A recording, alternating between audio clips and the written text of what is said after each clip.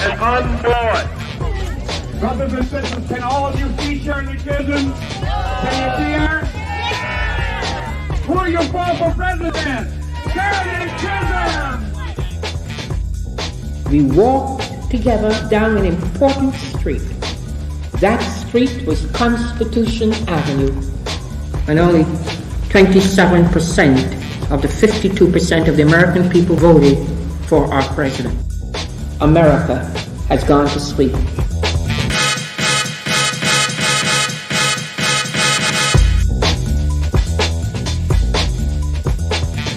Collective talents and abilities should be utilized by all of us in order to try and help make this world a better place in which to live.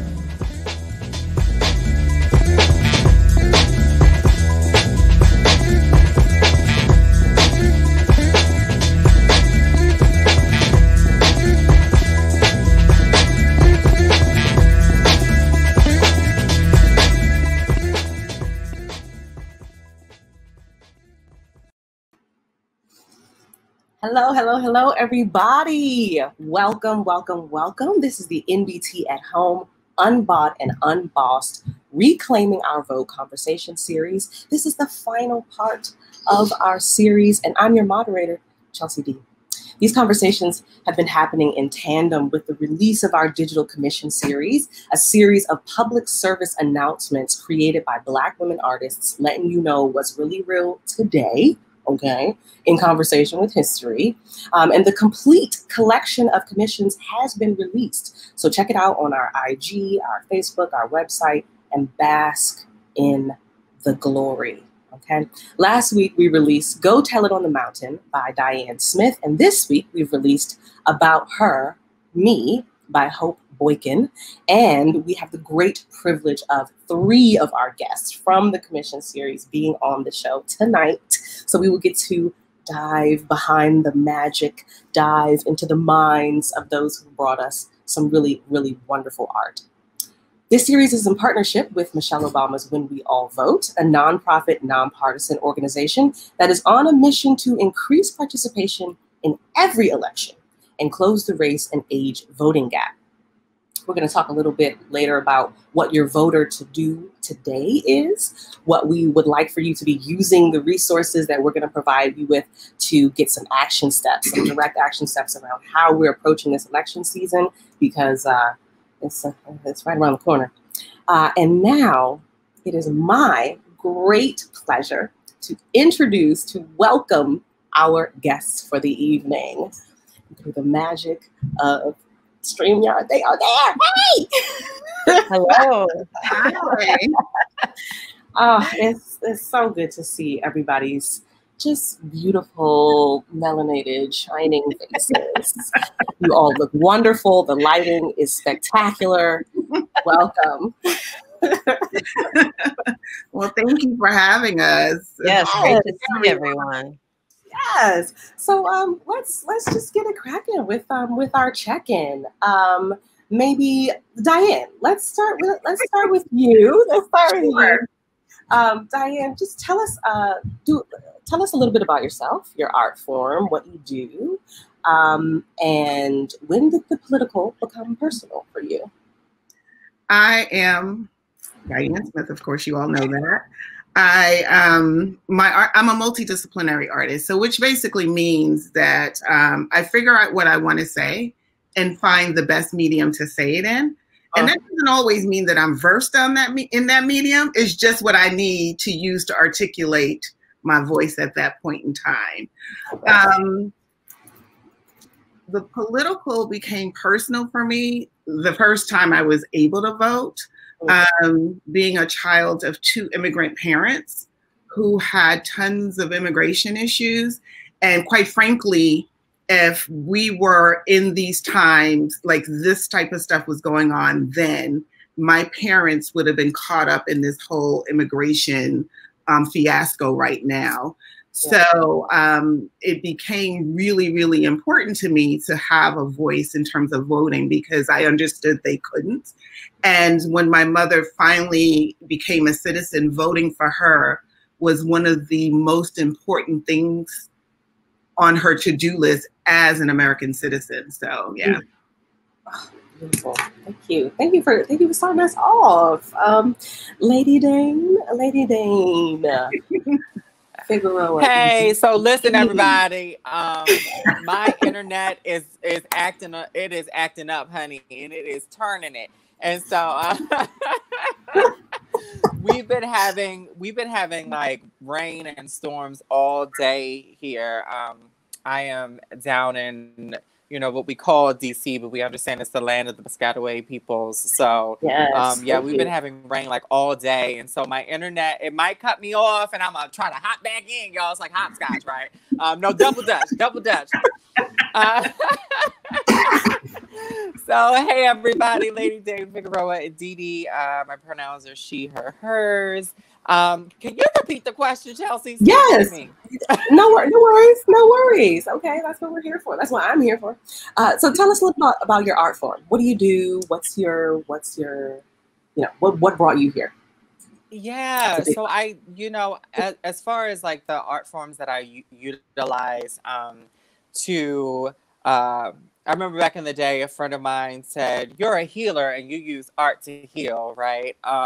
Uh, and um, so the art forms that I use are, you know, song, dance, uh, spoken word, uh, you know, writing, uh, movement, all of those types of things. Um, understanding that uh, that my existence is revolutionary.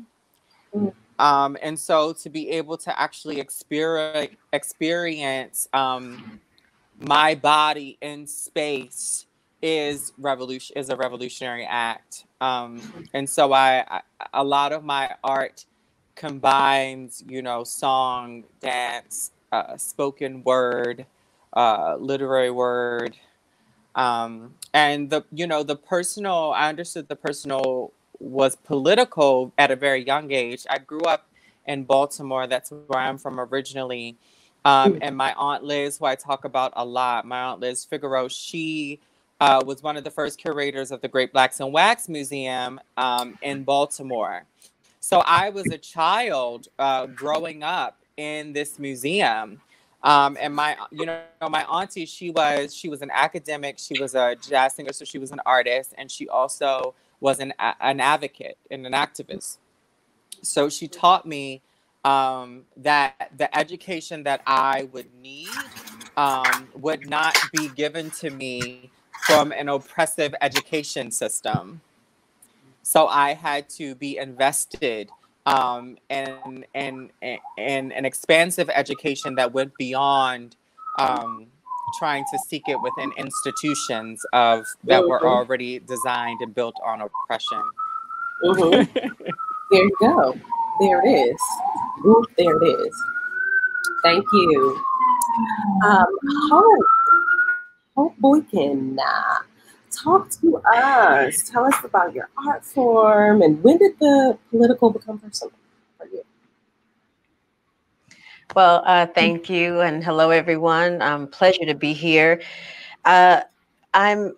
I someone asked me. They gave me a task to uh, put my mission statement into four words. So I've started to say, "My name is Hope Boykin, and I'm an educator, creator, mover, and motivator." It kind of rubs people the wrong way a little bit because I'm newly retired from um, the Alvin Ailey American Dance Theater. So 20 years with this one company, people expect me to say that I'm a dancer, but I am all those other things as well. Mm. So, as a choreographer, as a creator, which really encompasses everything, I uh, tend to try to speak. I, I, I say that I'm sharing my movement language, and I've included um, a great deal in the last five or six years. My text, uh, I was never I did, just newly getting courage to call it spoken word or poetry. I actually just joined a memoir writing class. So it's it's, it's all of these things are uh, part of the creative person that I am. And the political became personal for me, I think, rather late in life. My my family, my mother was the first person in our family to go to college. She graduated from high school when she was 15, from college when she was 18, and she was an educator. And what she didn't want me to do was struggle. And so I had different advantages than she had, which is what every parent I think wants for their child is to remove the ditches and and the potholes so they don't have to step in them. But I found that I floated on that a lot. Um, I knew that I that I, I always knew my life mattered and I always knew that I was a dark-skinned black woman, but I was surrounded by people who just saw me as black. Um, it didn't matter what my color was because that's what most of the time I was surrounded uh, by a full room of white students, white people. I always went to um, I went to private school from third grade until I graduated high school. And I said, I want to go to Howard University because I want to be surrounded by people that look like me. And so at 18, it was kind of cool. I was just thrilled to see so many people. But then it turned into something when I started to realize that it was my people who were differentiating me against everyone else. And I say against because we often do that we pit ourselves or pit others against one another. And I feel like our learning in this time has to really start with us when we want to make a larger change. And so now my my goals are to encourage and to grow. There, I definitely have experienced. I can go back and and recall all the aggressions and micro and and macro things that happened to me, but I started to feel the punctures coming from my people, mm-hmm. and so uh, we have to fix that as well as fixing all of the other things that are on the long list to continue to be better people. Um, yeah, that was long, but that's no, true. but but right, but all of but but right, and planting all the seeds that you know, I, I really do. I really would love to circle back and talk about this, like within the community, right? The violence, what is happening? How are we able to heal within within us so that we can offer greater healing to the larger whole. You know, like we got to talk about that name that stuff. Uh, so you know, let's let's get into being unbought and unbossed. Okay, NBT reached out to y'all and was like, you know, here, here's here's we would we want you to create a micro commission about around Shirley Chisholm's run bid for the for bid for the presidency and also the centennial of the ratification of the 19th Amendment. Like, how, what does it mean to be women of color, Black women who have been heading a lot of these movements and, and, and social changes, and yet not necessarily the beneficiaries of all the things that we have spearheaded the society to learn about. So, tell me, tell me, what was the inspiration behind your commission, the commission that you did? If you could tell us the title of your commission, um, and then a little bit about the inspiration, whether it was a, a historical figure or um, movement. You know, I would love to know what, what inspired these pieces. And whoever, whoever would like to start us off, jump on in. All right, Dianne. Um, I, first of all, I was really excited when I got the commission and I didn't know what I was going to do, but just thinking about Shirley Chisholm, I started thinking about the women who came before her. And one night, Fannie Lou oh. Hamer popped in my head. And I thought, besides, I'm sick and tired of being sick and tired. What do we really know about Fannie Lou Hamer? How much do we really know? And that included me. And I did a quick search, and then that evening I, I became obsessed. So much so that my friends know it, and my friend Bo McCall made me the shirt. I was just looking at that shirt like, is that Miss Fannie Lou? It is. It's a triple T with Miss Fannie Lou Hamer. So I became obsessed with Fannie Lou Hamer. Um, you know, like stalker like oh. obsessed, right? Like if she was here right now, they'd be like, Miss Hamer, there's a lady in front of your building. and reason why, um, just thinking about the start of her life, mm-hmm. you know, from the time she was six years old, she was working on a plantation. Mm-hmm. She quit school at 12 years old. She spent most of her adult life on the plantation until her and a small group of African Americans decided they were going to go register to vote. And the more things that happened to her, the more determined she was. So when I hear people today, particularly women and those who look like us, say they're not voting, what does it matter? I'm like, are you freaking kidding me? Are you really, you know, yeah, I just can't, I can't imagine um, squandering that, right? Because there's a certain amount of privilege for anyone that looks like us right now to say they're not going to vote because Fannie Lou Hamer didn't have a choice. She didn't have a choice, nor the people around her at that particular time. What they went through, all of the obstacles that got, and the fact that she made it as far as she did from her food, um, what she did for those who were food insecure, creating farms. I mean, this woman was freaking amazing with little or no education, but her intelligence far surpassed anyone that I've read about in a mm. long time. Mm. Mm. So your piece was in dedication to her, like it was in dedication. Roots. It was in dedication to her life, her roots, but mm. it was a testament to Black women in general, mm. and um, all of the ways in which we are out here, even today. You know, for me, it was sort of a contemporary statement too, in terms of how all of us are collectively making change and working in the in the background and mm-hmm. sometimes there are those in the foreground that are that are just like taking all of that and you know making it their own like fannie lou hamer is virtually unsung in the civil rights conversation in terms of curriculum in terms mm celebration in terms of like just talking about her. Again what we i'm sick and tired of being sick and tired. That is the thing that we the single most thing that we know about her. But the fact that we are sitting here today in this quad having this conversation is in part due to the work that she done. She did her work in the delta but that still it still trickled to impact us all. Shirley Chisholm would not have been Shirley Chisholm if they were if there wasn't um, a Fannie Lou Hamer. Mm, mm, mm, mm, so Fannie Lou Hamer to you is like the epitome of being unbought and unbossed. Absolutely. I mean, this, I mean, from the fact that she went in to have a particular surgery, you know, female, mm-hmm. and they gave her hysterectomy. Like, yeah. It's still happening. That's still happening. And it's still happening. But mm-hmm. that happened to her and it did not stop. You know, she mm-hmm. kept going. Mm-hmm. Um, when she was arrested was in 1963 and taken to the jail and the way she was beaten. And she was like, that made her even more determined. Mm-hmm. Mm-hmm. She just free, free from fear in a way that was like remarkable to be under that level of oppression because it, it, was the beatings and the description of the beatings that really stuck with me about Fannie Lou Hamer's uh, right. tenacity. And I'm like, wow, you know what I mean? Like, what does it take? What what what are you what are you calling upon? What are you calling upon? So, to that to that point, on Sunday I went to vote and I'm standing on the line, right? And uh-huh. I'm cold because I didn't dress well.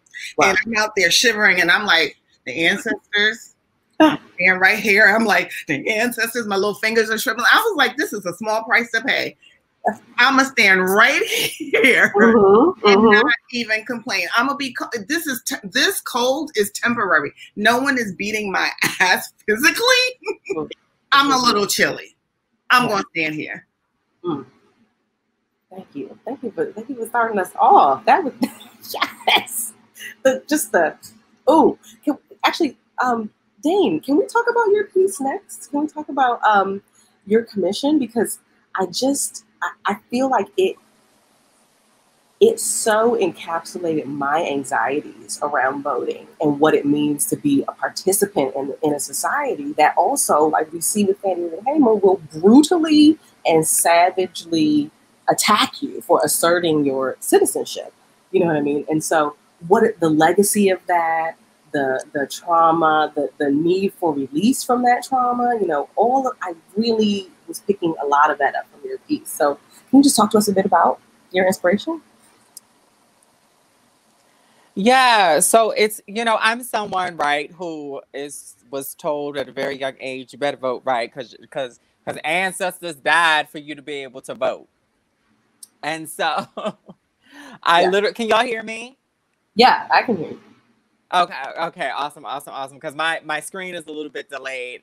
Um, but you know, my ancestors were like, you know, uh, my- my elders were like, your ancestors died for you to vote, so go on and vote, and all these things. Along with also telling me the history, right, of the fact that the idea of democracy did not start with white men.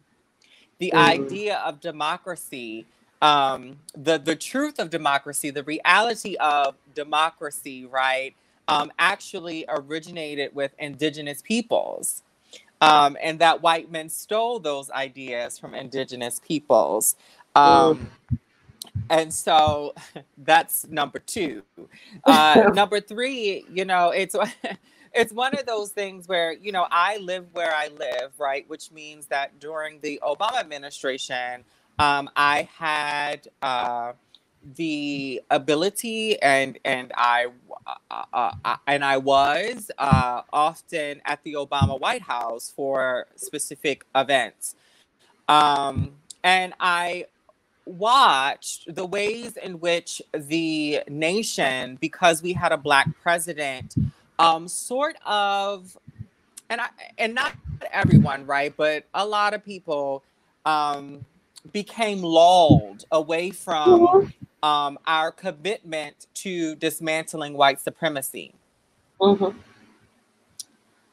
And that really, really um, pissed me off. So, Okay. so and like, you know, I remember, right? I remember black and brown and indigenous trans women being at the White House, being at some of these these state buildings saying it, white supremacy is the thing that is trying to kill us all. Mhm, And all. us being told, shush, give credit where credit is due. Why y'all Mhm. always angry? Why you always got to make a fuss about something? Can't you just understand that everybody's doing the best that they can? Go slow. Remember Nina Simone talked about that. Keep on saying go slow. Yeah, yeah, yeah. Um, meanwhile, literally, we were witnessing people dying because of a system that was born in white supremacy, genocide, and chattel slavery. Mhm, mhm. And so, um, and then 2016 happened. And that was a rude awakening for some folks. Um, and so my piece was really about the fact of saying, okay, yeah, yeah, yeah, yeah, yeah. I'm a vote, right? Like vote, vote. Yes, yes, yes. We got to vote. But what's the work that needs to happen? Because there are a lot of people, perhaps some people watching on this on this call tonight, who thinks that voting is it. And it is not, baby. It is not. Voting is is really the beginning. Because the work of dismantling white supremacy internalized and Mhm. systematic is something that we must be committed to and we must be vigilant about. And no amount of um a- a- and you kind of brought this up earlier, Chelsea, as we were talking, because I said it before, right? Our salvation does not rest in the system. Our salvation, we are our salvation. Yeah. Build community, care about community. Mhm. It is it- like literally, I just heard today about another black trans woman who was killed. I heard on Monday about another black man um, who was killed by the police. Mhm. This is ridiculous. So, Yeah. yes, you know what? I want a Biden Harris in the White House. Yes, yes, yes, yes. Let's do that. Because I, I can tell you this four more years of this other man. Oh, no. Oh, no. The, U- the, the United States has always, has always been um, plagued by fascism. Fascism is white supremacy by another name. And while there are some folks right now who are talking about authoritarianism and fascism, when I think about people like Fannie Lou, when I think about people like Frances Tom- Thomas uh, Th- Thompson, who was a black trans woman in the 1800s, t- who was an abolitionist and was Yes. fighting, right? She Mhm. was fighting um, for black women. Yes. Um, when I think about us, I think about the fact that there are some of us who have never enjoyed liberty in this country, have never enjoyed freedom from oppression. And so, what us going to do on the 4th of November? what us going to do on the 5th of November. Because no matter who wins, white supremacy still got its hands around America's neck. And we must dismantle it and destroy it completely. So that's really what my piece was about. My piece was about the fact that I was I was like how do I as a person who believes in abolition and a person who uh-huh. believes in re- creating a system where really you know, I asked the question Does the United States deserve to survive this if it won't change? If it won't These change? These are the questions. These are the questions. So, as a person who is like wrestling with these questions, but also understanding that four more years of who's in the White House right now could mean death, death for so many more people. Mm-hmm. But but but wanting to also speak to us about us really being committed to dismantling white supremacy internally and systematically but also going to vote yep.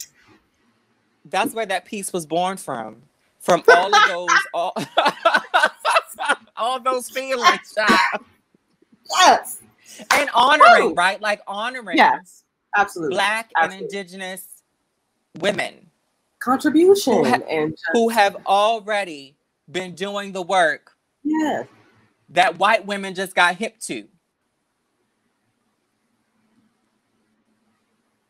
That's that. okay. Did y'all come for unbought and unbossed or not? Nah? Okay. Because that's what we're really want tonight. Hope. Talk to us. Talk to us about the inspiration behind your piece.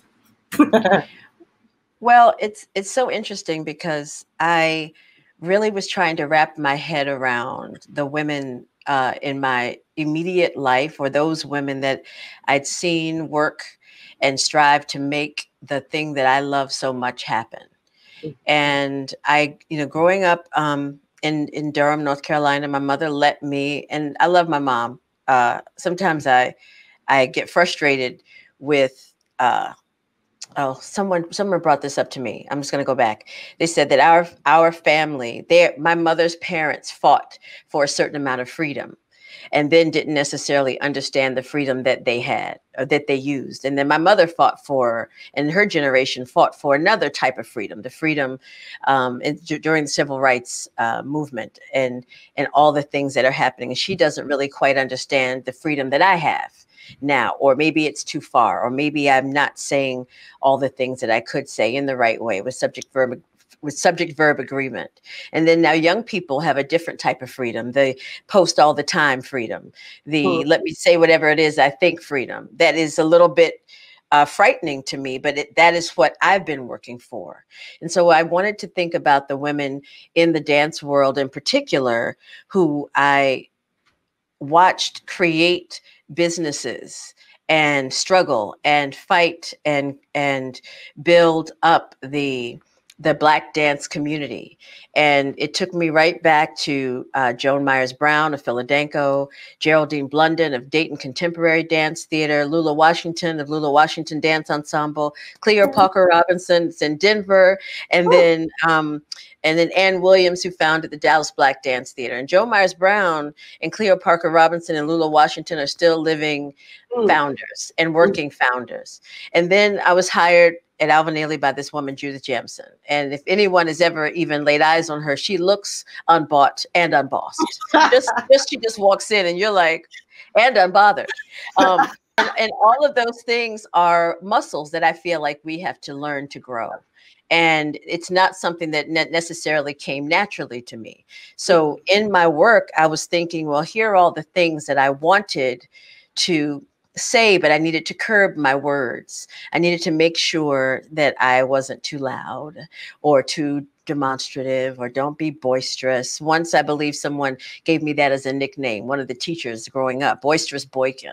Well, maybe I just had things to say, but you know, but boisterous is looked at as a negative. So why is it that I'm curbed by that? What is it about me that that imposes some type of threat on you?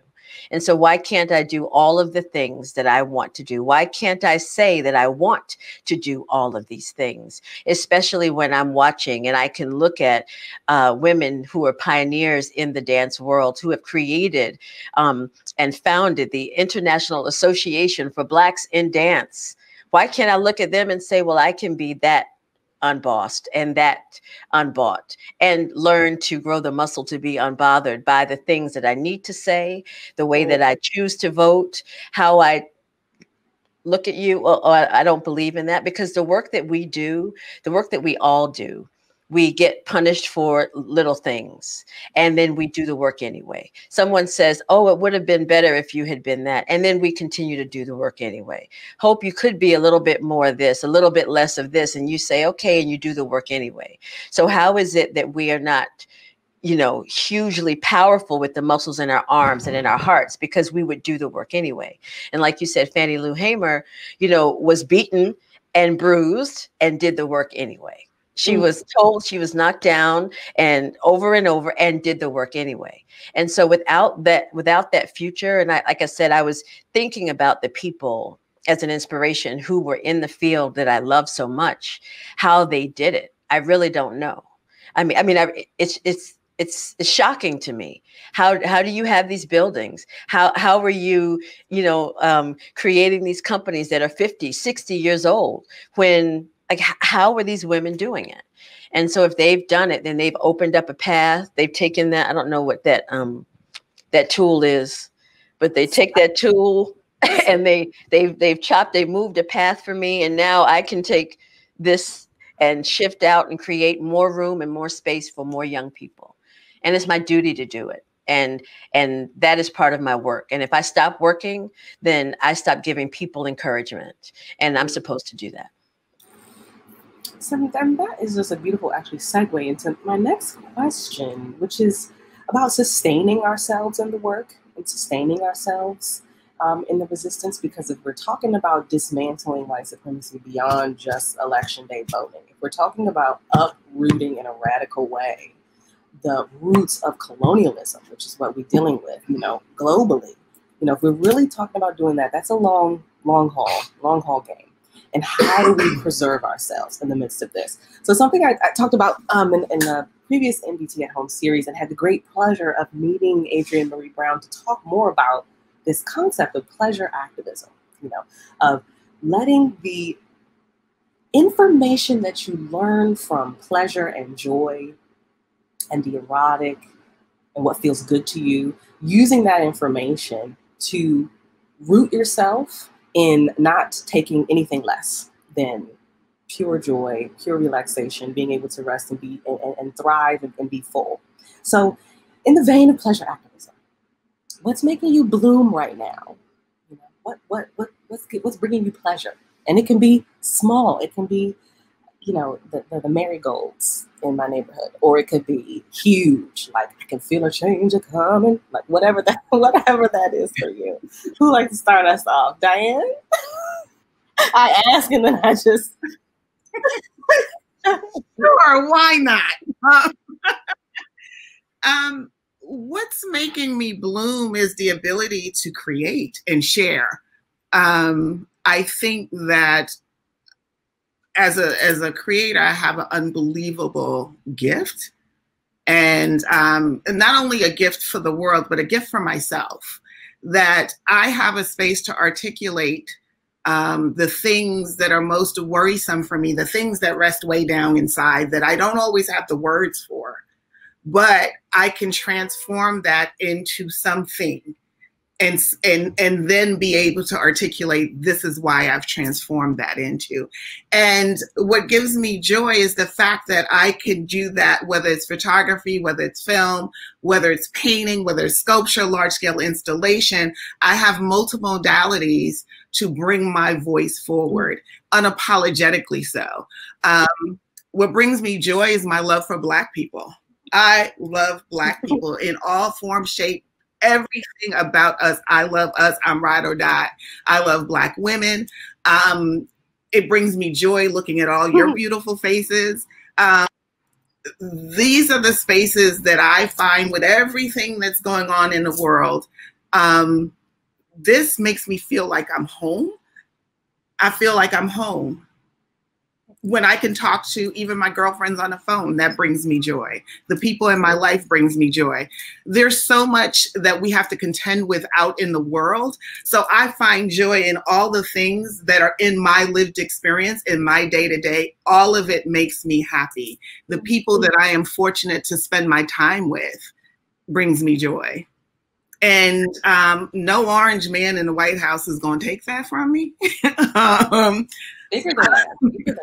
Um, and white supremacy is not going to take that from me. And what I say about that is, in spite of that, all of this beauty exists. In spite of um, the ways in which we have been knocked down and um, uh, communities bulldozed, men and women beaten and hung, and we are still freaking here we are here.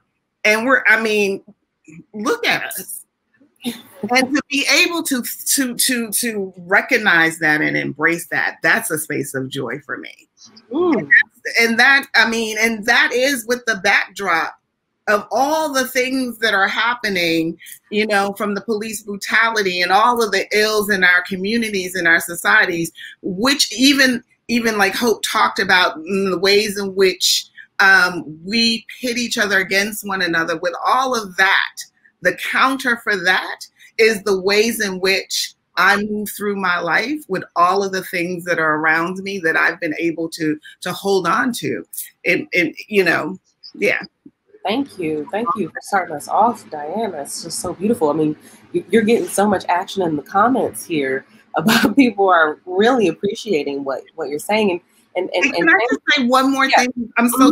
sorry. And I got to tell you, being a part of this um, this group of commissions, I mean, that has been you, I do a lot of work and put up a lot of things. And this particular during this particular time, I've been really, really fortunate to be able to make work and make a lot of work. And I would say this particular commission amongst this group of women has been something that has been so profound and profoundly impactful for me. And it has yeah it, it just makes me feel good looking at all of that work. Like i sit and like i i was waiting every wednesday for for the release. I mean it's special. And I, i'm i'm really honored to have you know been on on the stage with you and on the bill with you so oh, thank you dianne and if fam if you please put in the comments what is making you bloom right now. Let I want we're collecting. We're we're, we're creating our toolkit of of what's going to keep us sustained and thriving in the midst of this. And so please let's collect. Let's let's let's gather uh, comments from the, from the fam who are watching. Uh, hope. Making you bloom? I tell you, the the the blooming some days I feel like I need to like reread all of the things I said mm. I wanted and um, look at the list of things that are just happening. Like Dianne said, she uh, is fortunate enough to have work now. The work was coming so much that I didn't want to mm-hmm. even tell anyone because I didn't feel like I was like it was right to be happy that I mm. was able to work you know, like especially with COVID, and then then the the other our other huge crisis is racial racial crisis that's mm-hmm. ongoing, but the one that everyone saw. I said, you know, I, I, was I would say often that George Floyd wasn't the first black man that was killed, you know, unnecessarily by the police, but he's the one that the entire world saw, mm-hmm. um, and so that's why so much. Uh, so much happened across. I mean, my my friends from all over the world were reaching out, but what I feel like I didn't um, was hard to put into words was the ability to reach so many people. Um, I would hear people, I've heard people who've just joined Zoom for the first time. I'm like, you're kidding me. This has been a lifeline to me. Uh, having cameras. I would even see Dianne walking down the street with her camera on her, you know, uh, on her on her shoulder, having cameras, having lights, being having a monitor, being able to do this work because I was gearing towards something else, and then it opened up into the life that I could use. So this morning I taught um, choreographing for a university in Virginia. And then an hour after that, I was with a dancer in London. And then right before this, I was in LA. Yeah. There's no way I would have been able you to would, do that. You would not. and so, as tired as it makes me, and as frustrated as I sometimes get from, and I need to get a real chair and not this stool. That's why I keep shifting. I mean, literally, I had a knee surgery in August, the middle of August, and I was like, "Well, I don't know how I'm going to work." I have an assistant who logs on, demonstrates them. I mean, how much better could it get? When I mm-hmm. didn't know what was going to happen after my retirement. And now it just doesn't stop happening. So that's the blooming.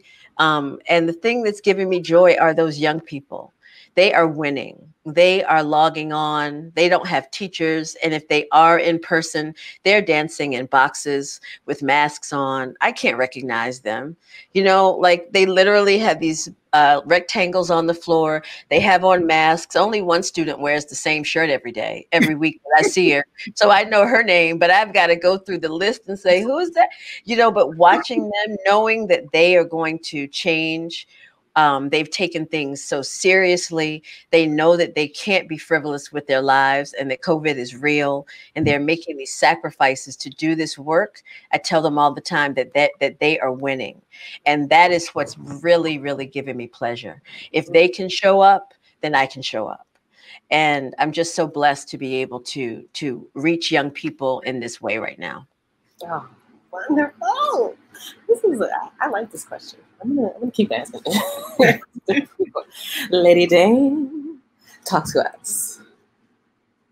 Okay. Uh, I was like, okay, did I press it? I did it. Okay. Uh,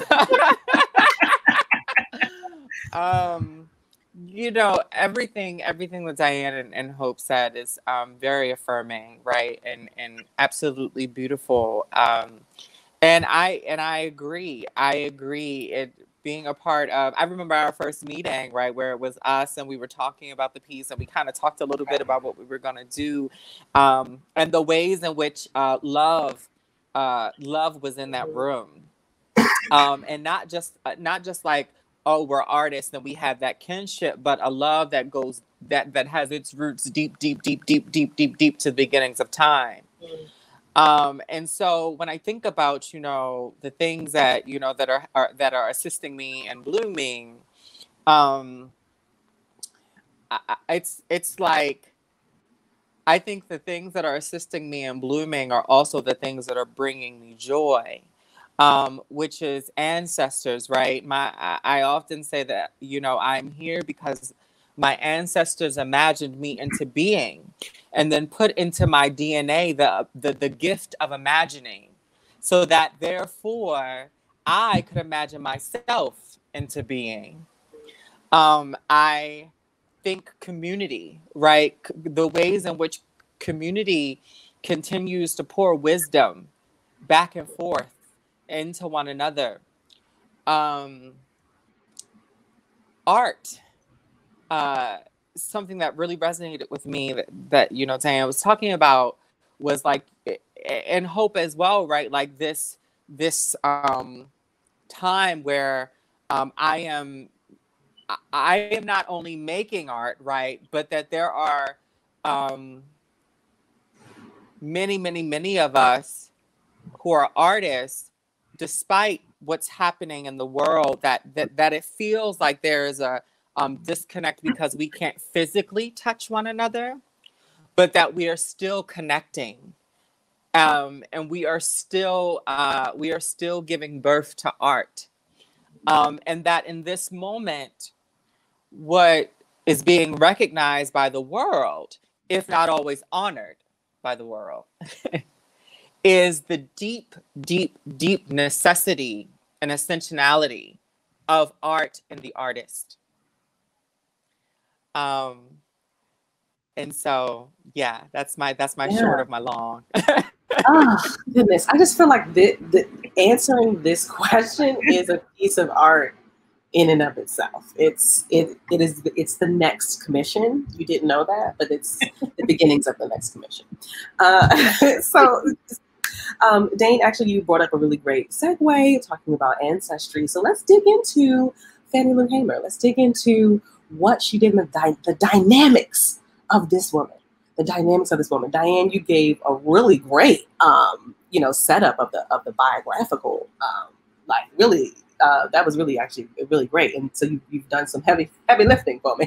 Um, and I actually just want to zoom in on her activism to battle food insecurity in the in the Delta and like her creating. Oh, let me actually pull up exactly what it's called. Um, she was a co-founder of the National Women's Political Caucus, and then her food sovereignty activism started the Freedom Farm Cooperative, and this was a farming collective to feed the community and battle food insecurity. And they had, I, I just want to talk about the, a specific program they had called the Pig Project, where they would raise pigs and then give a family a pig.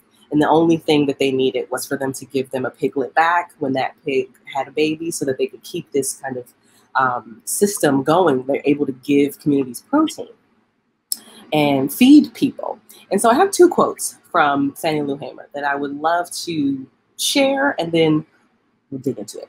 But one thing she said was when you've got 400 quarts of greens and gumbo soup canned for the winter, nobody can push you around or tell you what to say or do. The next thing she said is if you give a hungry man food, he will eat it. But if you give him food, but if you give him land, he will grow his own food. So just to start us off, you know, going with this metaphor of land and having land and and creating systems that sustain the community from a from from a, a local place. You know, you're not you're not trying to like get the global perspective going. You're trying to help the person who lives next door to you. You're trying to make sure that that family has a pig, and then we get their pig, and we get that pig to them, and you know what I mean. So how are we how are we building this? So the first question I have for y'all is, you've got some land, okay? You've got some land. What do you want to grow? and this can be literal, this could be whatever. But what do you want to grow on this land? Whoever wants to start us off. Oh, take it away. I love this question um, because I I often share and and teach about the the mm. list of awesome and not going, not always pointing out all of the things you'd like to fix, but let's add to what you mm-hmm. already have. And so with the land, the more you do, the more work you do on the land, the more you uh, am I saying the right term? You you till the ground. Soil, you are till the soil. Yes. I'm not a farmer, but um, but, but, I do, thank you. But, but, but, I do believe that the more you add, the more you can share. Uh-huh. And so it, it's funny because people would often say, Hope, you're really generous. And I would say, Oh, I like for you to have your own, not mm. necessarily mm. some of mine.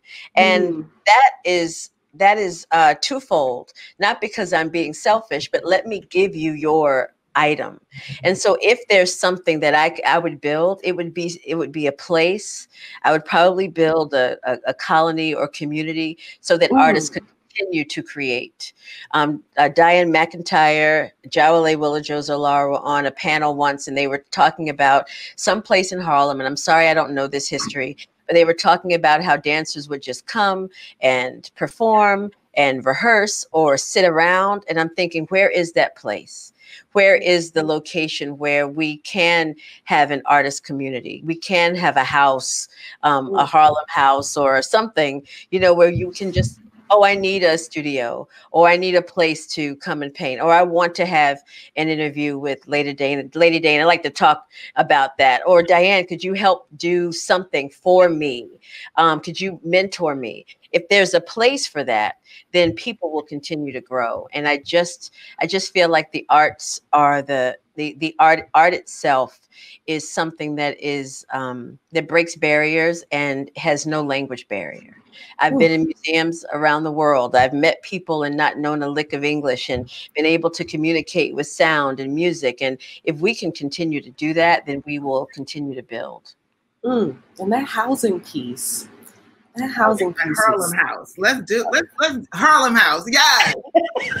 I mean, just how many generations of stability are created by having a place to live, you know, and not having to worry about where you if you're going to wind up on the streets. You know what I mean? Mm-hmm. How much stress does that take off of you? I just want to give big ups to um, Sis Mariah Moore in Louisiana, who's working with trans communities to provide housing and bought land and is building homes um, for trans folks. And this is huge because this is housing is the it's like if you don't have housing, this is opening the door to all kinds of vulnerabilities and and casualties and and I, and I think that being able to provide housing for folks is setting up generations. You know, it's giving generations a chance to actually thrive and go and be because I don't have to worry about where I'm going to sleep tonight. Um, so I'm, I'm with you on the housing. I would want to grow sunflowers. Sunflowers detoxify the soil and they just make people happy. So I want to throw that out there.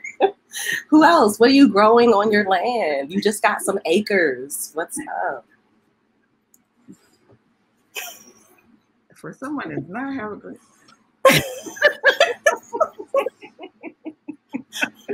well, I mean, two things come to mind for me, um, metaphorically. Uh-huh the idea of the mustard seed and lemons. Those two things. Lemon trees. Um, you know, just metaphorically having, you know, what you can turn turn the lemons into lemonade kind of metaphor. Ah. you know, um, what can you do, right? With a little, you take a little and you make it into a lot. Our ancestors had had so much faith in um, in in just doing that. You know, um, that unbe- unbelievable to me that that was a hard question for me because there were so many things going through mm. my mind in terms of sowing something to make it grow and there's so many things that could be sowed to make it grow that I couldn't really focus on on one thing. And so the mustard seed and the the lemon came to mind only because those were things I heard throughout my childhood. You know, like mm-hmm. you can turn lemons into lemonade. Like she was not that. Per- she was that person that. Um, if you told Granny something was wrong, she'd be like, "You better go figure that out." Like, Yes. Yes. yes. I got time for you sitting around here belly aching. Go figure it out. You know. We are our own salvation. There it is. Right. You know. So yeah, there was just so many things that were running through my mind um, in terms of um, need and want. And you talk about, mm. I think of water and the the the lack of water globally, particularly uh-huh. you know there were just so many things, you know, and and to sow you need water, and people are struggling from Flint, Michigan, on like it was just so much. And I know you said to think about the immediate, but my brain just doesn't work like that. Mm-hmm. You know, I tend to think about the diaspora mm-hmm. and the connectivity of it all because it's all you know it's all connected. Yeah, you can't isolate one slice of it. Okay, so you're just like, let me start with the symbolic crops and then we'll move know, expand. You know, and of course I went through that whole thing in that short time of like thinking about what land ownership meant to mm. black and brown people in black people in this country, um, the enslaved Africans, you know, what what land meant, you know, and yeah, and the idea of owning land, like, is isn't that an invention of colonialism? You right. know what I mean? That idea you really own land, is private property, is that really a thing? You know, and thinking about the ways in which you know, I mean, land is such a, I mean, such a bedrock of um, you know, systemic racism and white supremacy. You know, when you, land makes you think of from redlining, all of the ways in which land has been this thing that we as black people is told to own but it, it, was always a barrier in terms of our ownership of of land and property you know? Mm-hmm, mm-hmm. yeah. Yeah it is. It's a it's a there's lots of layers to untangle within that. Um lady dane what do you want to grow So I keep going for my um for the mouse, right, to, to unmute myself, and I'm like, "Wait, you on your phone, girl?" Uh, um, land. Oh, this is such a you know, it's right because it's like, do does anyone actually own land, right? right. Um, or, or is it, or is the, or is the question for me, right? As I think about, as I think about the question, is the question for me is um, what would happen if there was a piece of land that I was able um, to create a personal relationship with? Uh huh. Uh huh. Um, mm-hmm. That like that was not that was not interfered with by white supremacy. Mm-hmm. Um, when mm-hmm. I think about that, I think about um, food, right? I think about what are the things that we actually need to sustain our bodies. Mm-hmm. Um, our hearts and our mind. Um, herbs, right? Herbs. You can mm-hmm. make medicines from herbs. Um, uh, I think about, I also think about, you know, what is this uh, building homes, right? So that like folks don't got to worry about do they have a roof over their head or not, right? Um, mm-hmm. and then I also, you know, I also because we have the we have the gift of imagining, right? Uh, a place in which we um, can sow love into the land and that and that that love actually grows and spreads out. Um, a place where um, we can sing songs of freedom into the land um, and that the land actually cultivates things for us to be able to sustain our freedom. A place in which we are able to do ritual, ritual um, that perhaps is in some of our DNA. Um, and it was hidden there by our ancestors who had it had to hide it there because they were forced to worship a white god. Um, a place in which we can celebrate each other hold each other, heal with each other, heal ourselves um, without the sense of capitalistic urgency.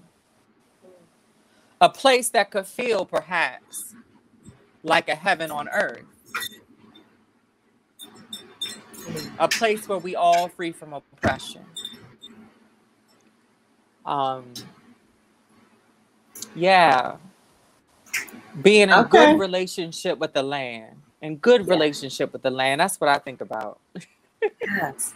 I mean, but I also do feel like Dane, you just kind of laid down an incantation that was like gonna bring this forth. Okay. I don't know if y'all heard the in, the intonation and the intentionality, but I heard it, I felt it. So I feel like it's coming to us now. Thank you. Thank you, Dane. Thank you for getting that started.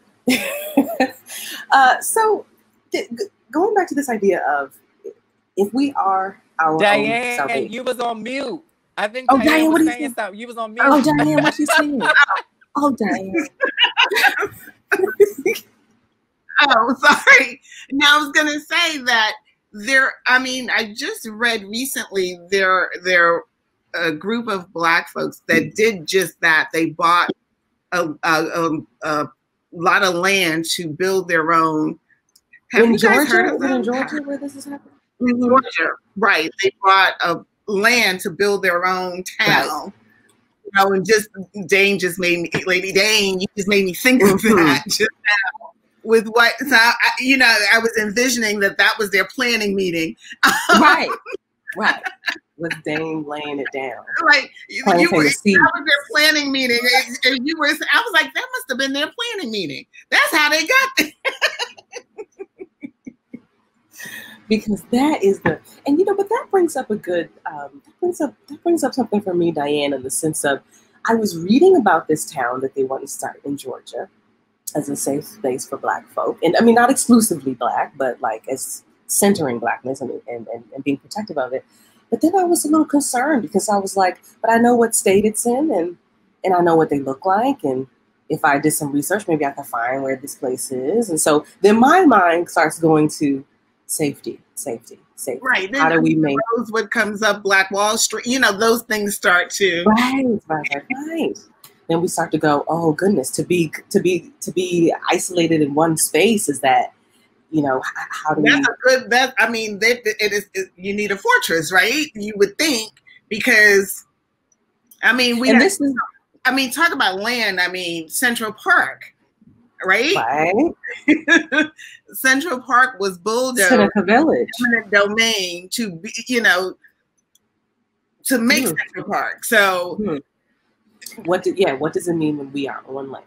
What does it mean when we are developing a relationship with the land, we are sowing love into it, and the, the legacy of that being interrupted or uh, there being some type of um, violent disconnect with that. But at the same time, you know, I don't want to necessarily stop dreaming and stop sowing seeds and stop mhm. uh, trying to fi- find, cultivate, and create space just because of the of the threat of violence, and yet it is ever present. well, I And mean, so- we're under a threat of violence every day, right? right, That is our our daily life. reality, Mhm. That's our reality. You know, violence and trauma. and we are moving through it. And In the midst of that. through- So, you know, my question, and this actually segues into my question, which is, if we are our own salvation, what do we do to protect ourselves and community um, every day? And so that's the question I'm posing to y'all. And this could be as simple as, you know, I'm, you know, I'm making sure that I'm drinking enough water, or you know, I'm out. I'm here's an organization you need to reach out to. I'm organizing and, and, and activating with them. Um, you know, what are what are what are we doing to keep each other safe? I'm thinking about something, um, Dane. Since you're you're you're where I'm at, you're you're in DC. Um, the the the Karon Hylton um, incident that happened with MPD um, Monday, or it was very recently, um, and the the unrest that that that popped off in response to that, and Black Lives Matter DC created this hashtag "We Keep Us Safe," or they're using this hashtag "We Keep Us Safe." And it made me think about this conversation of how are we keeping ourselves safe?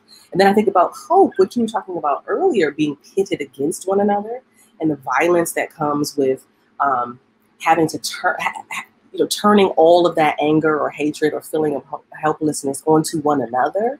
Um, how are we? How are we healing that? And I think Dane, you mentioned the rates of murder of Black trans women is unacceptable it and it is it is us within our community that is committing these murders. This is the most horrifying thing when i you know i can't wa- i can't watch all of the videos but when i when i can bring myself to the the, the, the familiarity the familiar, familiarity of these women the familiarity of these community members who are attacking these women. I mean this is we have got to name that you know we've got to name that and we've got to we've got to we've got to deal with that because how are we keeping us safe? How are we our, our own salvation when this violence is what is you know cycling through uh, cycling through the community?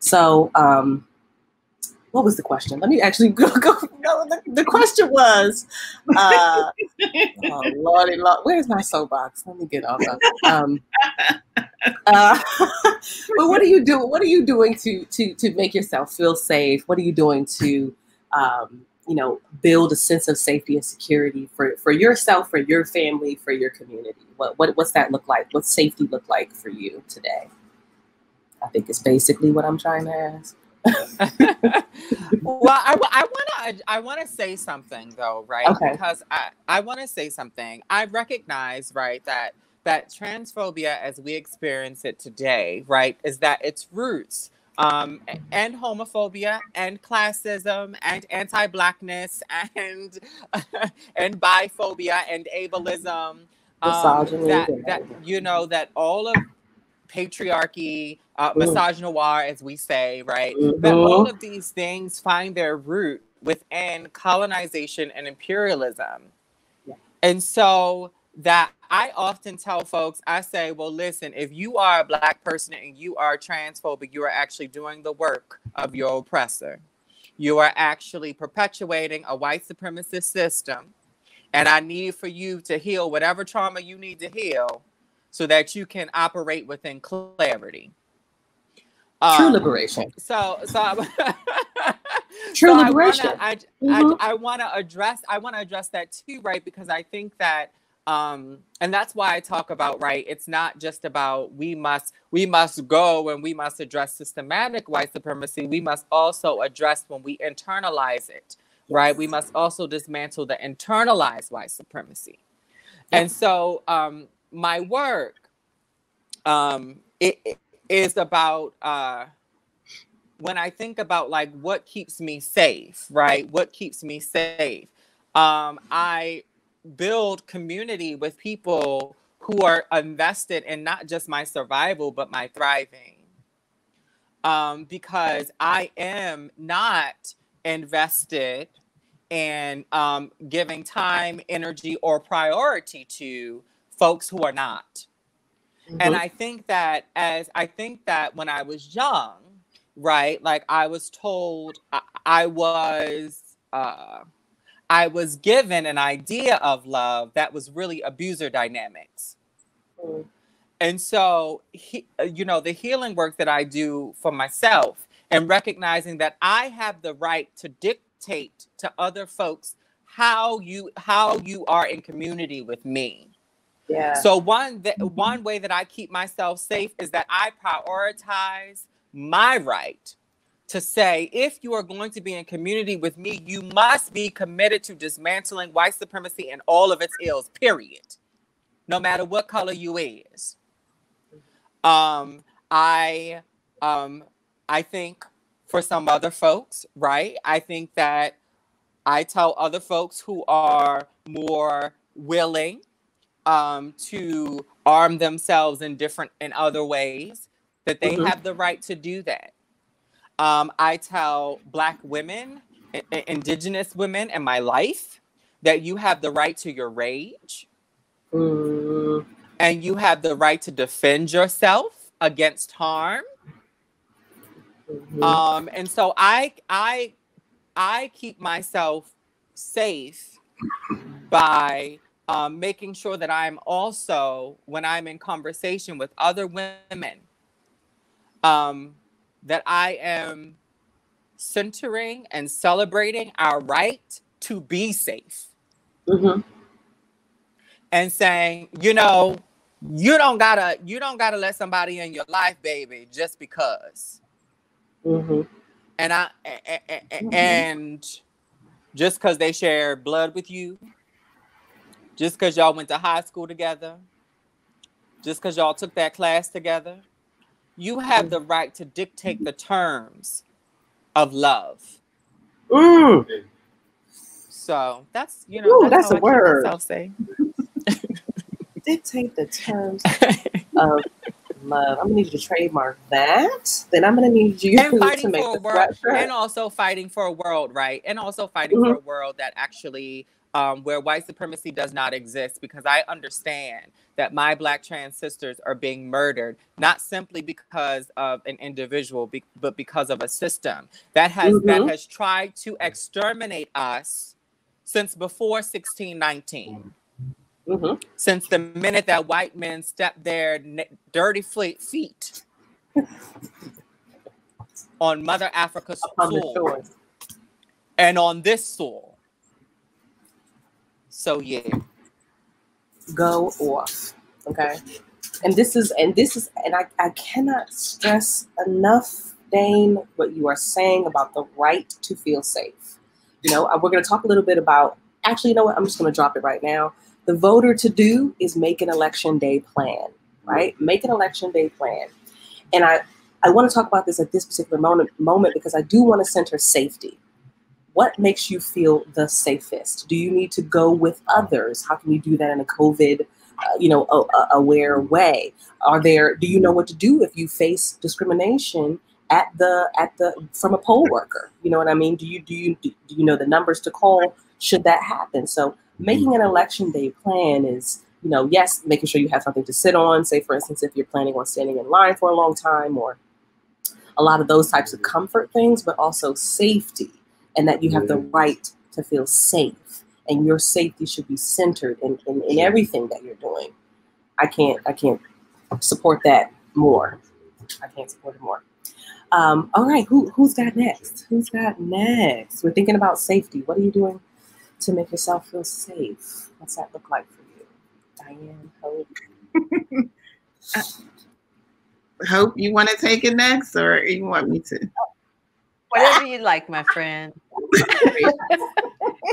um, I, I, I will say that um, I don't always believe that I'm doing enough for myself. Um, and I know that the only way to continue to uh, do those, I, I guess there's that there's that never feeling like you are enough. And what has been giving me a security is that I am a part of the. It's not really a steering committee; it's like a working group of um, the AGMA, which is the American Guild of Mu- Musical Artists. We they we now have a Black Caucus, and so being surrounded by uh, so many people who are interested in dismantling white supremacy. And I tell you, Lady Dane, your words are just like you were in this meeting last night and it was like you were there.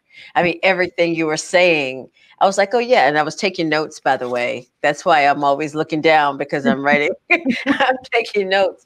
But I don't feel like in listening to you, even that I'm doing enough. And um, I if I if I am not, if we are not, then we can't continue to pass on the words like you are passing on. And so I I have work to do in surrounding myself and in surrounding myself with people who will continue to help me. So what you're saying to me is a lesson um, that I need to work toward. All power to the people. All Yeah. power. Uh, Dianne, let's dig in. Let's get into it. Yeah, feeling. I mean, for me, safety means being able to be my authentic self and to always communicate um, spaces of discomfort um, in any kind of relation, whether it's a um, a platonic relationship, a friendship, um, professional spaces. Um, I'm always very clear to articulate where there's a problem. And that is something I grew into um, over the years of, of dealing with the trauma of things happening. And I just decided my job is not to take care and, and because the only place I would feel unsafe is outside of my community around white people. And that's just a reality for me. And so I no longer feel unsafe in those spaces because I have a clear articulation of where the problems are when they are there. Yeah. I'm no longer quiet. I don't have the need to take care of Blanche Myrtle, Susie, Tom, Dick, or Harry. I don't. I don't, I don't have. I don't have that need to do that. And um, you know, it, in thinking about this idea of safety, it's making me think of the last place where I was the director of a particular department and the ways in which everything I did, um, there was someone trying to get in my way. And Mm. Trying to box me in, make me feel uncomfortable, make me feel unworthy of being there, um, challenging my whole sense of being. And I remember going into my boss's office and I said, everybody in this institution gets to be exactly who they are. Mm. You hired a black girl with a hyphenated identity who's Afro Caribbean, who's from the South Bronx, who lives in Harlem, who's the daughter of immigrants. That's what you're going to get. Everything. I'm not going to come in here and not be the black girl that lives in Harlem. That is what I'm going to do if everybody gets to be their authentic selves, all the ways they are seeking to oppress my being and to make me feel unsafe, then I get to be who I am and to Mhm. counter that. Hmm. So I no longer, you know, it, I, you know, I, I, I would sit in meetings and say, I don't have time to play with y'all.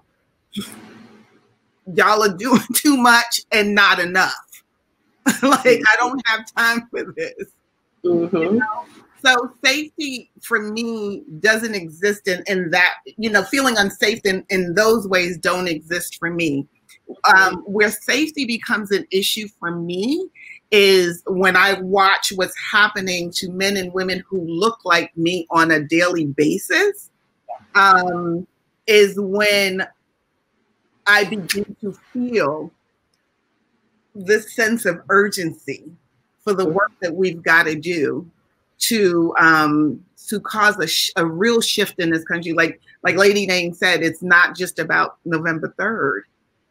If we really want to talk about safety, it's the work that we have to do come the fourth, the fifth, the sixth, on and on and on. If we really want to talk about what safety looks like in this country, we have to talk about the continual work. And I think that's why, for me, Fannie Lou Hamer was so important because somehow she understood that. It wasn't just about her getting into office, it was all of the work that she was doing in addition to getting getting into office. That is the work that Lady Dane is talking about. You know, mm-hmm. I want to, you know, just talk, you know, Lady Dane, you, I mean, everything you said was spot on, and particularly about this idea of trauma. And what we're facing within our community is that many of us don't know that we're experiencing trauma. And we don't, we don't know, and we don't have the language to articulate what's welling up inside of us. So a lot of the things that we're putting off on each other is the pain and the pain that has been handed down and has been packaged nicely for us. And that pain is rooted in um, all from the systemic racism, from the Jim Crow days, from Jim Crow laws to um, white supremacy. All of that has been packaged so nicely for us. You know, it's like the equivalent. I remember I was taking care of a friend once, and the aunt came to the hospital, and this girl is like, she's she's dying of cancer, and the aunt comes to bring all this stuff, and I told her she needs to take a little Tiffany box of pain, and, and she ain't gonna unwrap it here. She need to take a little mm. box of pain and take it on back with her. What mm. we've been really good as good at as a community is handing down the pain, is handing down the trauma. And we've been good at it because we don't even recognize that that's what we're doing. So, what you're talking about, Lady Dane, is really getting at the heart of that and really having people. And that's another thing about safety feeling safe enough to even talk about I'm in pain and I don't know why. I'm hurting and I don't know why you know i think that there's been so much um so much put on us and and that's not even our own in the ways in which we move through the world and um, we have to be strong and we have to like i've never subscribed to that strong black woman thing. I don't know what that is. I don't know who she is but i've never subscribed to it. And you know that for me is where pain resides also and where feeling unsafe resides that you just always got to be like that's the stuff that we got to chip away at Mm. That's this idea of perfectionism. Yeah. That has to be squashed. Yeah. That yeah, we wonderful. have everything Thanks, and all everything and all things for everyone, right? And the one Right. misstep, then there's something wrong with us. you know, Mm-hmm. we don't, and, and it's unfair, you know. And a lot of the work that I I I do, I look at a lot of video footage that's surrounding some of the stuff that's happening, you know, culturally and socially. And what has been striking me is when I look at how Black women are affronted in Mhm. out in the world in society and how she begins to take on this vibrato almost from a very mat like she's emu- emulating how a man would respond to such things and it always makes me think of Sojourner Truth, ain't I a woman, right? Because mm. at some point that black woman no longer sees herself as a woman because she has to protect herself. And I've watched this these videos with this kind of thing, and oftentimes there are men sitting around watching this woman having to defend herself in this way and it's it's really it's it's a lot it's a heavy heavy burden right it's a heavy armor it's a heavy armor dane i see you i you. think yeah, my cam- my y'all, my camera is over here. My mic, my mic was coming on and off. I was like, hold on, mute my mic, unmute my mic. Hold up, child honey, she's doing stunts and shows tonight. I, child, if y'all could just see my phone right now, stunts it's like the top row is like gone, and I'm like, I, well, y'all can hear me, so I'm still here, I guess. Um, no, I was, child. No, I was gonna say, you know, it's you know this this idea, right, of like packaging pain, right? Mm. It's because also that pain, that trauma, also sometimes makes us rich Literally. We Literally. are rewarded. How many how many plays have we seen where it's just trauma porn? How many oh. movies have we seen where it's just trauma porn, where it's just violence on black bodies for the sake of violence on black bodies? Absolutely. Which is which is what which is right, which is like which is um and then we're told and then we're told that you're only noble when you suffer. And I reject that. I reject that notion of us needing to suffer. I reject that I notion of right, right.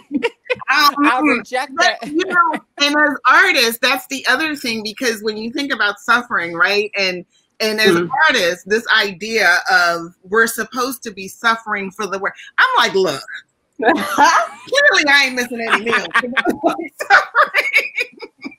I, I, don't know what that is. Like I don't like those those things just don't make sense to me. Like why are we do, who doing that? and I want to say this too, just to reflect on what you said, Dianne. I actually think, you know, this is the thing. When we peel back the layers, I think what we call masculine and feminine ain't actually that. I hmm. actually think what happened because we really look back into history, there were warrior goddesses who were as comfortable in the bedroom and as comfortable with makeup on as they were with taking a machete to somebody's neck. And so for me, when I when when we're talking about when we are talking about you know, I'm talking about masculine, feminine, in the in just in contemporary times. Just looking at how, um, you know, young black women are having to fend for themselves and take care of themselves in situations they clearly can't win in. And it's an mm-hmm. unsafe space for them to be in. And you know just thinking about that you know and why should they have to be in that position right? Why should why should someone um, take liberties on their person in that way to begin with right and then why do they have to be in the position of having to defend themselves in a space that they clearly cannot win in because they're overpowered? It's a it's a it's a really it's a serious issue and I think this comes back to Lady Dane when we're talking about what's happening to trans women. It's the same thing. It's it's no one should take liberties over our bodies the way that they do. And there's something about, you know, I think patriarchy that allows that to be true. And because there's that for Black men too. And it's real. And we have to talk about it. If we're talking about really, I mean, healing and um, from a holistic perspective, we have to have all of these conversations, no matter how difficult they are. You know, yeah, I wonder what the role of community is, right? Because I think that you know, oftentimes what have what has come up, y'all. I also I still my my phone is being shady. Um, so so all I all I see right now are my hands and hope and well, Dianne. No, lady, name. we see all of you. We see all of you in your. Okay, good. You have your whole your whole self in sight. awesome. So I, you know, I, I, I, so I wonder, right? Because like even as even as we talk about, um, you know, this idea of we take care of ourselves. Mm-hmm. What does that mean, really? Because if we really want to get down to like the nitty gritty of it, it's like, you know, if you see a girl who is being attacked in the street, if you see a man who is being attacked in the street, are you going to put on some boxing gloves and go on defend that person? Are you going to go on and and and and mediate the situation so, so that there is peace in the community? Um, if you know somebody's hungry, you going you going to get food for them? if you know somebody um, needs to leave an abusive relationship. Because also, I think sometimes I'll say this in this space because, you know, we are all um, who we are. There have been times where it's like, you know, that there is a person who is being abused in a house. Are we going to really do as a community what we need to do to make sure that when that woman, when that sister leaves that abusive man, that she has a place to lay her head? mm-hmm. that she has food on her table.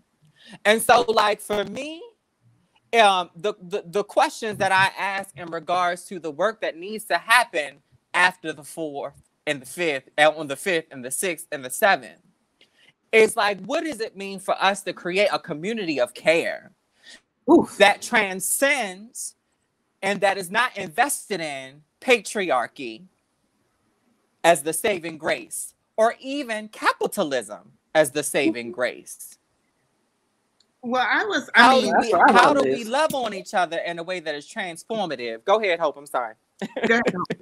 well, no, no, no. I was, um, I was just going to say the one thing that I think that can be overcome, but the the issue of it is that the one thing that I found that's more addictive than sugar is power, and mm. people want power so much that they intend uh, to do good, but then that takes over. The power takes over because then you have to relinquish it to someone else. So you maybe you have to share it, or it tasted good, or it felt good. The power that you had, and mm-hmm. that's when community breaks down to me.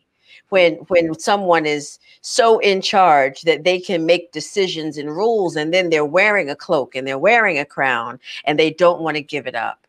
Whereas power really is in this conversation. Power is really in your uh, comments, Lady Dane. Your comments, Dianne, are all on this paper that I'm writing in. That is collectively giving me what I need so that then I can continue and grow. So this com- community is the way is really the only way.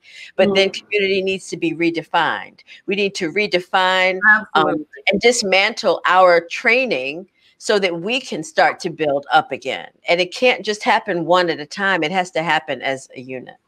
Well, I mean, to, to, to both of your points, you know, when I think about community and um, and I think about how I move through the world and how I live, and I'm fortunate. I'm very fortunate that I have a community that um, I don't care what's going on, they will move heaven and earth. Mm-hmm. and we will do that for each other. And, you know, I hadn't talked about this in a while, but one example was two years ago when my mom passed. I didn't know what I needed, but I had about like my girlfriends, they came for nine days and nine nights. They sat with me. No one, they wouldn't leave me alone.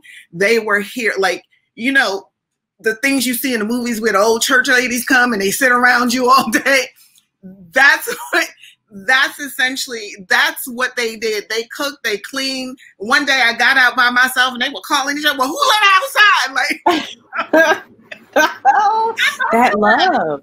Um, but mm. I think that that's really powerful. And I, in this conversation, I'm realizing just how many mm. communities I'm fortunate to have that is in that way. Um, I live in a building that I've been in for 20 some odd years. There's a community in here. My neighbors, like, someone was staying here, I was away. They were like, Who lives there?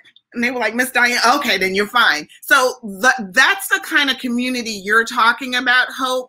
And we have to be able to give of ourselves also in order to find that kind of community right so we cannot talk about wanting um, community all of us collectively but we're not able to be transparent enough Mm. and vulnerable enough to allow community to find us Mm-hmm. i And to think that is love transform. True. Yep. Absolutely. I laying on her hands, honey. I- and that and that's for what I color was girls, when she said I was That's what I was missing something, a laying on her hands, not a laying on her bodies, but a laying on her hands, honey. Yes. That's what I was thinking. That's what I was Mother Goddess Ntozake, yes. thinking.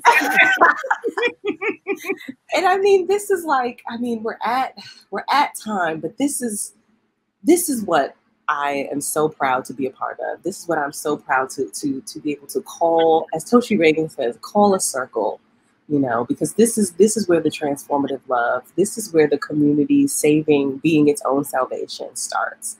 So I want to thank Hope, Dianne, Lady Dane. Thank you for being here to close us all close us out for this series. This was like the perfect way to just bring it on home. And I want to share one last quote from from Fannie Lou Hamer, which is you can pray until you faint, but unless you get up and try to do something, God is not going to put it in your lap. see right there right So there that- that's the last bit from Miss Fannie Lou Hamer. But thank you so much for joining us. Check out um, NBT's Facebook page, Instagram, website. I'm so filled with love. I don't really, I'm, I'm struggling to find the words, but thank you so much for joining us.